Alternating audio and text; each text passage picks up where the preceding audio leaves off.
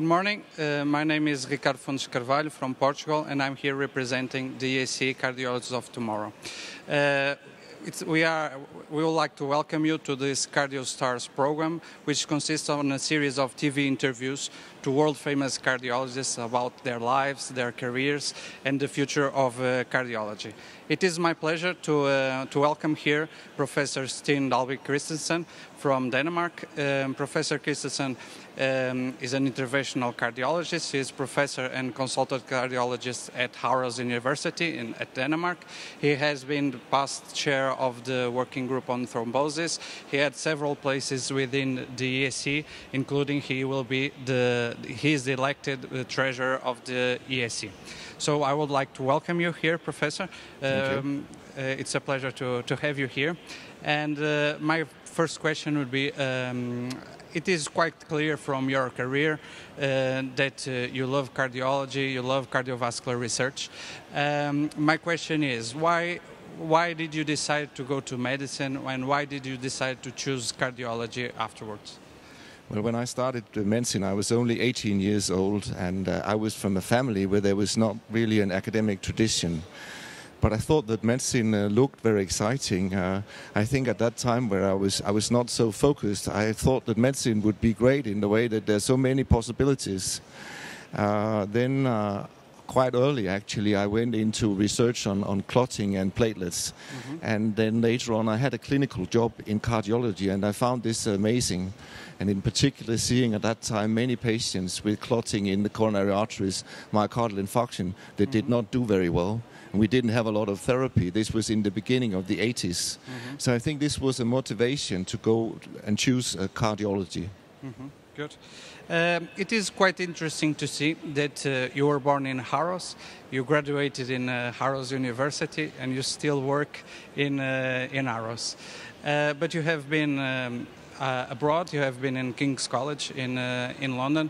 My question is um, what were the biggest experience, the biggest things that you brought to your career from this uh, abroad experience? And what is your advice to the young cardiologists about going abroad, going to other countries? Yeah, I think it, it is right. It looks as if I've been in Aarhus all the time, but but actually this is not the case. Uh, I have been training in other places uh, in uh, in Denmark, and uh, also I had the privilege when I was around 30 to get a research grant uh, to go to England uh, to work there for almost two years. And I worked first in Sheffield, and then later on in London with Professor John Martin, who was a big uh, let me say, uh, inspiration for me in many ways in my life. Uh, John actually is had received the gold medal of this uh, the, of the ESC. And, uh, and, when we worked together in Sheffield and in London, he was really giving me a lot of inspiration, not only in the platelet field where we worked and did a lot of interesting research, but also he brought me an international view which I didn't have when I was in Denmark, because at that time in Denmark, I would not say that we were isolated, but it was not so usual to travel as it is today. So I think this change to go to a big country like the UK with a lot of facilities in the beginning or mid 80s was really uh, a very important uh, thing for me and for my career development. And uh, I think also that's where my interest in international collaboration also uh, started.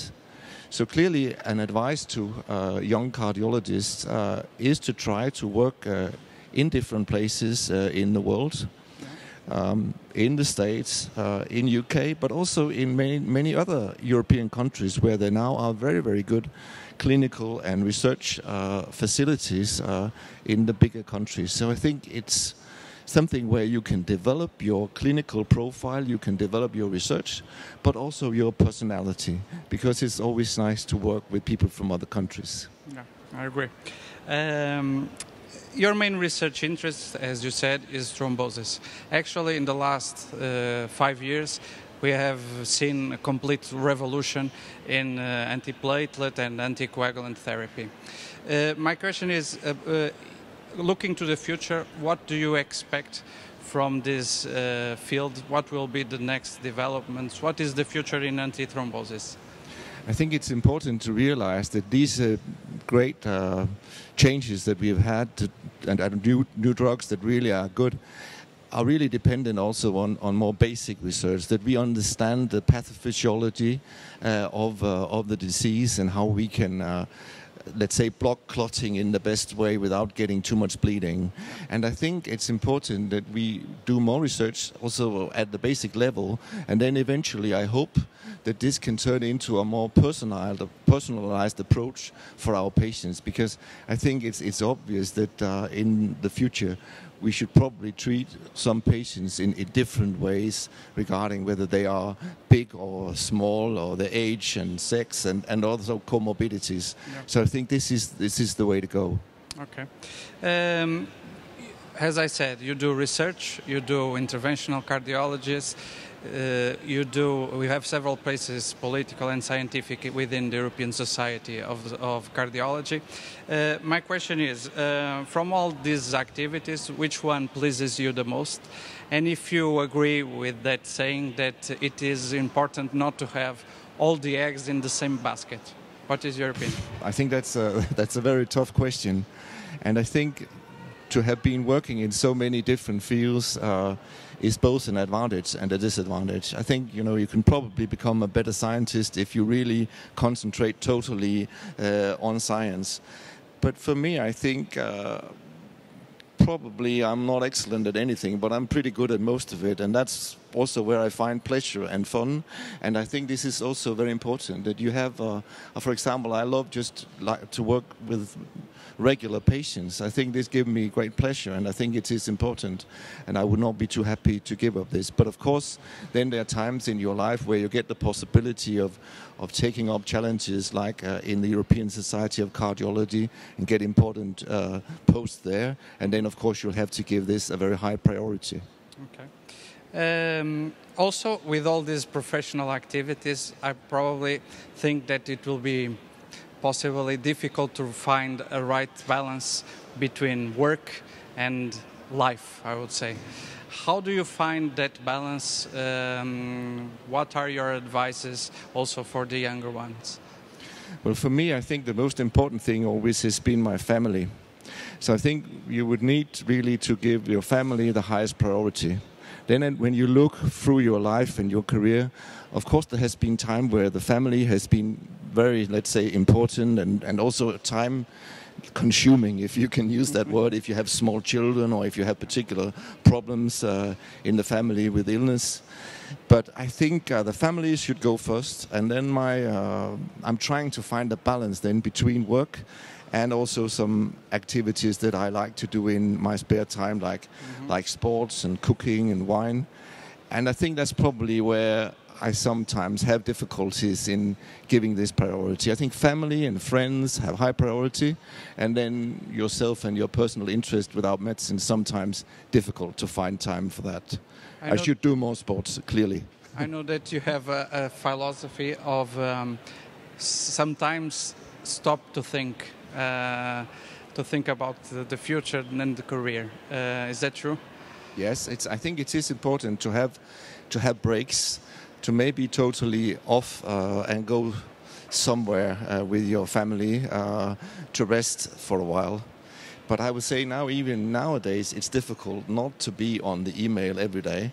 because if you do this for too long, yeah. Ricardo, when you come back, there'll be so many emails that it will, it will be very difficult to handle. So the balance now is that when I be on holiday skiing, for example, yeah. I would usually spend half an hour, an hour every day on, on my mail still. But I think doing things with your family and friends uh, is clearly very important. Yeah, completely agree.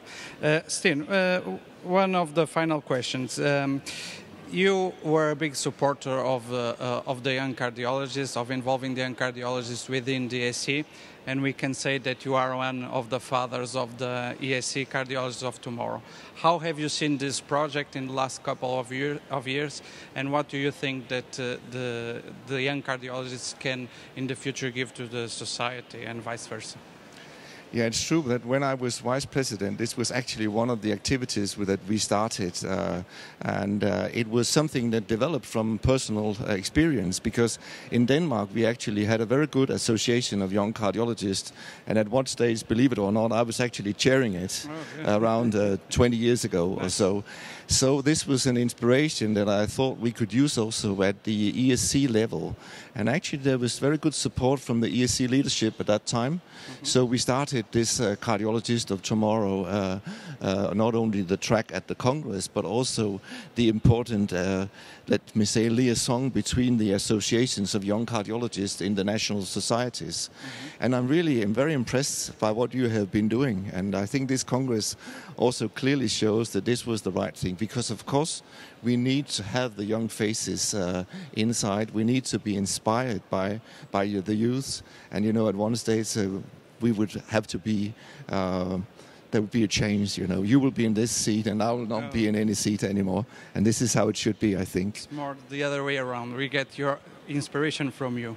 Um, the, to conclude, my final question would be: From your career, um, if you had to um, say something to the young cardiologists, what would be the biggest advice that you would give them for their career in uh, in cardiology? I think, first of all, as a cardiologist, and I know this sounds a bit old fashioned, you have to realize that there's a lot of work.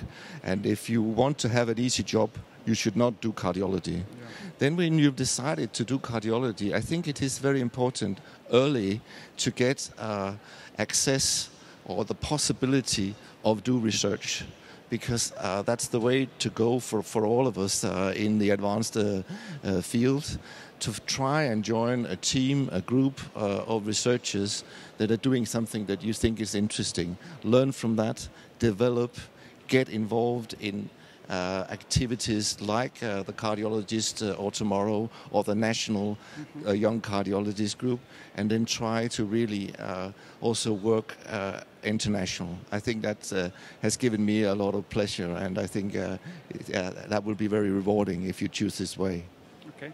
Thank you very much thank you too. Thank you for this Thank magnificent you. interview. Thank you. Thank you